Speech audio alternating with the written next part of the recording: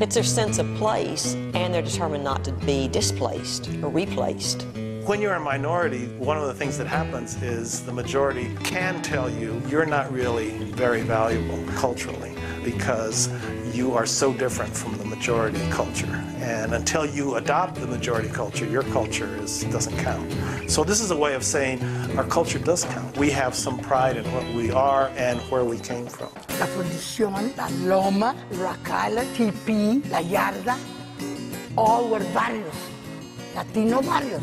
Places like this, which are the only place that anyone could go for entertainment in Spanish. And this would become kind of the focal point of Spanish entertainment in the North Side.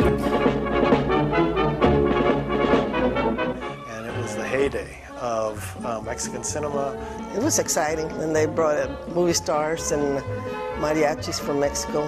Maria Felix, Dolores del Rio, Jorge Negrete, Pedro Infante.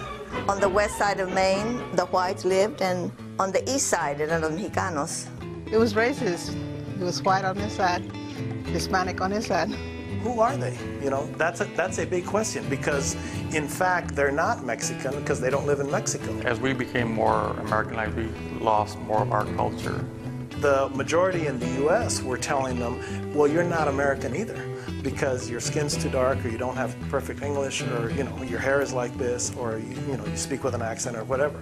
In the early 40s, during the war, the city council on its own just zoned everything out here K heavy industrial, which means that the houses were all sitting on industrial property without asking the people. They just did it. A lot of drugs, druggy haven, I called it.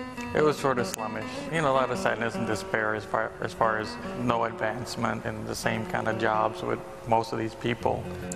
Renovating the theater, bringing it back to life. Now we're being recognized by city leadership. Now, as the, the arts people in this city now know who we are. We're, we're getting awards all the time.